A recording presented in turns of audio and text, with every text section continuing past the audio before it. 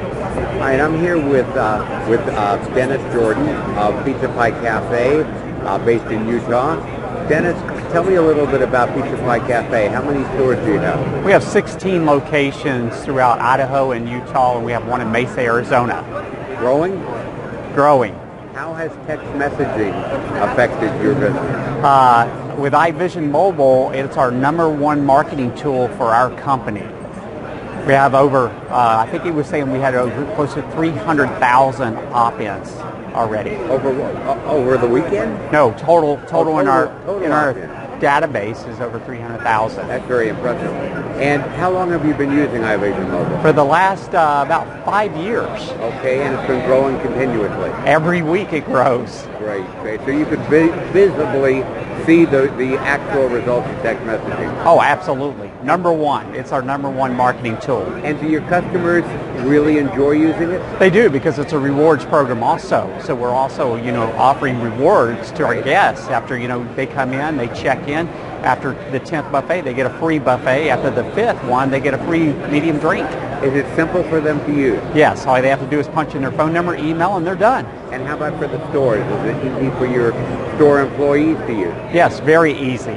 Very, very friendly, easy. Do you find it difficult to get people to opt in, to join your text rewards program? No, actually, we, with our cashiers up front, they just, we, you know, we teach them how to do it and say, hey, this is a rewards opt-in program. All you have to do is punch in the numbers, teach the guests when they come in to make sure they opt in each time. And it takes two seconds.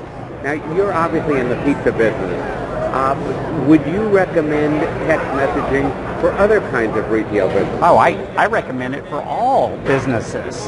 You know, whether you're an ice cream business or a, you know, automobile business, or it doesn't matter what kind of business you're in because you're you're taking care of your guests. You're rewarding them something, whether it's 10% off or 5% off or whatever the product that they purchase.